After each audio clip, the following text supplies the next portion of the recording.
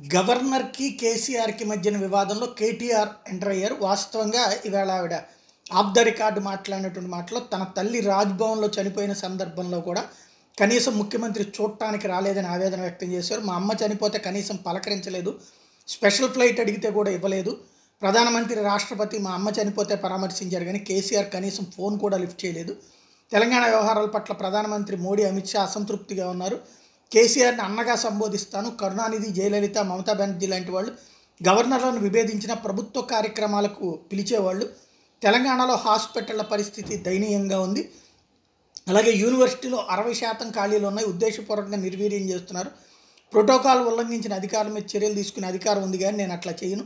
తెలంగాణ ప్రభుత్వం మీద ఎట్లాంటి కోపం లేదు అంటూ మీడియాతో ఆఫ్ ద రికార్డు మాట్లాడితే కేటీఆర్ రంగంలోకి వచ్చారు. కౌశిక్ రెడ్డిని తీసుకోనందుకు. అంటే అతనికి సేవా విభాగం కిందన తనకి ఎమ్మెల్సీ ఇస్తుంటే దాన్ని ఆపినందుకుగానే తన మీద ఈ విధమైనటువంటి కక్ష సాధింపుకు పాల్పడుతున్నారని తమిళసాయి అన్న నేపథ్యంలో మేము అట్లాంటి కక్ష సాధింపులు చేసేవాళ్ళం కాదు. ఆవిడ ఇంతకుముందు భారతీయ జనతా పార్టీ నాయకురాలని ఎవరికి తెలియదు అంటూ తన వైపు నుండి రివర్స్ అటాక్ అన్నటువంటి చేసుకుంటూ వచ్చారు.